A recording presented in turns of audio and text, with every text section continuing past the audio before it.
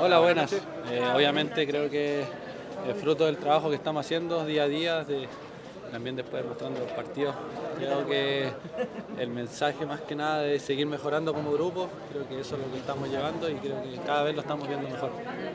Gabriel, las sensaciones después de varias fechas, afianzarte en el arco de la U, ya titularía indiscutida para muchos, ¿cómo lo has sentido tú? No sé si titularidad indiscutida, creo que uno trabaja día a día para poder seguir peleando puestos. Creo que Christopher también está haciendo un esfuerzo enorme en, en- en la disputa del puesto y creo que cada uno está enfocándose en todo. Así que nada, tratar de, de seguir mejorando día a día y obviamente una responsabilidad más grande el seguir manteniendo el puesto. Gabriel, además, ¿cuál fue la La verdad que lo vi muy bien, eh, lo vi muy seguro, lo vi con la misma personalidad que entrena él, que se esfuerza día a día, entonces nada, creo que, que también es lo que mostró como jugador hoy día en el partido, es lo que demuestra día a día, por eso también el profe confió en él y, y también lo puso en el equipo. Gabriel, eh, viene Coquimbo Unido, un aforo de 45.000 espectadores en el Estadio Nacional, eh, ganó el cuadro pirata, ¿qué sensaciones vienen ahora en este próximo encuentro ante ellos?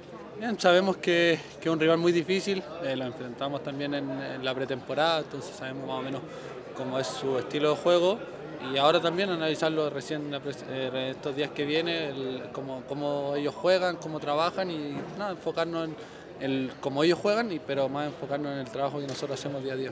Quedan, pu- quedan punteros, eh, ahora toca revalidar un poco eso, tratar de afianzarse en la, en la parte alta de la tabla para que no, nadie los pille. Más que pensar en que si estamos punteros o no, creo que nosotros tenemos que pensar en, en enfocarnos en, en hacer un buen juego, en hacer un buen partido, en manejar la- el control del juego y creo que estar hoy día en, en la primera de la tabla es una consecuencia de lo que hacemos como grupo. Creo que, el esfuerzo y, la forma de jugar, creo que eso te lleva a que nosotros hoy día podamos estar peleando arriba. Estamos chiquillos, gracias. Gracias, Gabriel.